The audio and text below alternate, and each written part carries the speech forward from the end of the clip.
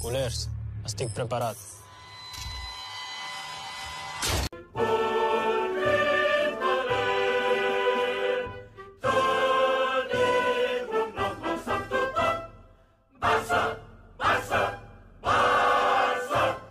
Okay, guys, thank you for joining. This is Barca 360, and you are welcome back to the channel. So, earlier this week, it was reported that Barcelona held a meeting with La Liga officials in Madrid in order to discuss the possible return of Lionel Messi. The 35 year old is set to become a free agent at the end of the season when his PSG contract expires, and Barcelona are leaving no stone unturned in their bid to bring back their former captain. However, for that to happen, they must resolve their financial fair play issues by reducing their salary mass by a huge amount. To that end, an economic viability plan has been already formulated and submitted to the league for approval. Now, Veronica Brunatti has provided an update on the aforementioned meeting between Barcelona and La Liga. As per the journalist, director Mateu Alemany and treasurer Ferran Olivé met with La Liga officials to discuss Barcelona's fair play issue and not the details of Messi's contract, although both matters remain interlinked and it is important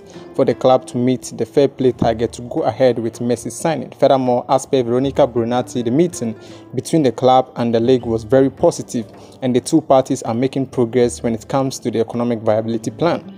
As per the feasibility plan proposed by Barcelona, there will be player sales and a remodeling of the squad to some extent with the club needing to reduce their wage bill by a massive 180 million euros. But based on the meeting, there is a lot of optimism that La Liga will accept Barca's economic viability plan. This, in turn, will allow the Catalan giants to press ahead and table a contract offer for Lionel Messi, who is said to be waiting for it. The 35 year old is willing to accept a reduced salary to secure a return to his former club this summer, and all things point towards a reunion. So, culers, that'll be all for now. If you like this video, may consider hitting on the like button, subscribe, and share as well. Thank you very much for watching, and I will see you in the next video.